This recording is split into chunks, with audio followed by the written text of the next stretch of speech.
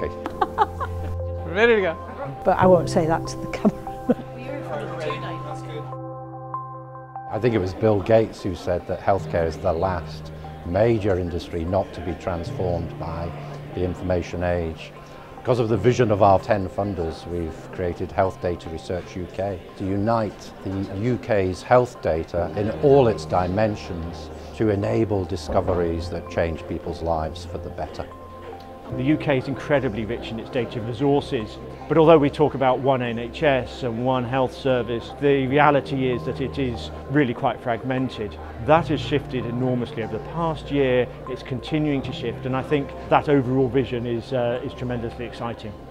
Bold, exciting, challenging, daunting, but potentially transformative. The prospect of a new kind of multidimensional science that dissolves boundaries across disciplines, institutions, disease areas, ideas, it's ambitious. Um, I think it's going to take time to achieve that, um, but actually ultimate benefit is going to be that we will be able to much, much more rapidly understand the disease at its really detailed level and then as fast as you possibly can turn that into treatments and actually turn it into interventions before you get sick.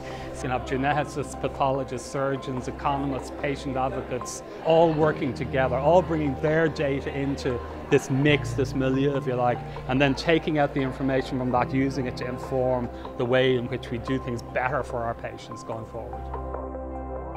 Different disciplines speak different languages, so quite a lot of the initial challenges are getting people from different disciplines in the same room and actually helping them to realise that often they're talking about the same thing but using different terminology and I think HDR UK has been a great catalyst for really getting those conversations going. Uh, it's opened up a, a new world a lot more conversations with bioinformaticians and, uh, and genomics related people.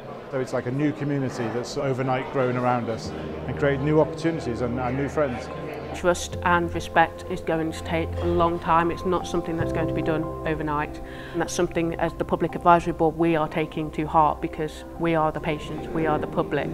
The, the biggest thing I think is to be listened to and actually see our thoughts and opinions go into the new work that they do. This has become truly one institute. And whether you're from Oxford or Edinburgh or Belfast or Leicester, it doesn't matter. The aim is uh, around the science of health data research. I think there's going to be a much better NHS than we now know it, which is more efficient and delivers better patient outcomes because we have more capabilities to improve the system using data, using objective insights. We will understand diseases much better and if we understand diseases then we can find better treatments. It's as simple as that. So I believe it will revolutionise medicine, the practice of medicine.